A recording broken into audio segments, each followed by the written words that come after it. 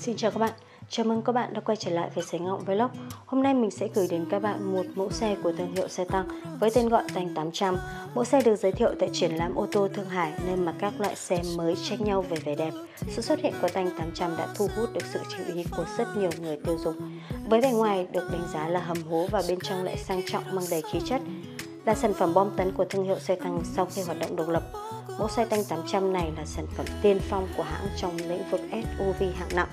Về thiết kế ngoại hình, Tanh 800 đầy độc đoán thể hiện thế mạnh của ngành công nghiệp sản xuất xe trong nước.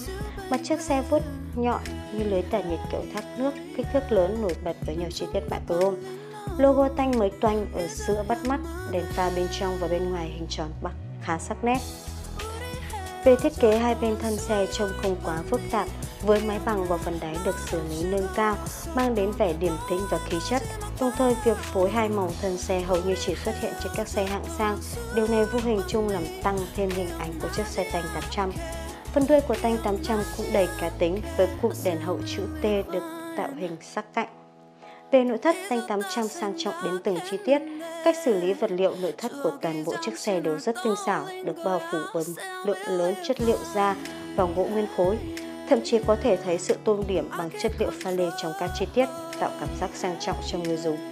Ở khoang lái, với hai màn hình nổi kích thước lớn là màn hình điều khiển trung tâm và màn hình LCD đồng hồ rất bắt mắt, độ nét cao và cảm ứng mượt mà, đồng thời một số nút vật lý vẫn được giữ lại sử dụng, không chỉ thuận tiện cho việc thao tác mà còn có kiểu dáng kim loại bắt mắt và khỏe khoắn. Hàng ghế sau của Tanh 800 sử dụng cách bố trí ghế hai chỗ ngồi, Tựa tay trung tâm được kéo dài từ hàng trước ra sau, tạo không gian riêng biệt cho người sử dụng. Kích thước của ghế không thua gì hạng nhất, có tựa đầu, gạt chân, massage, sưởi, thông gió và các chức năng khác. Lưng ghế trước còn được trang bị thêm màn hình LCD có kích thước lớn cho người ngồi phía sau có thể đáp ứng được nhu cầu giải trí nghe nhìn trong quá trình di chuyển.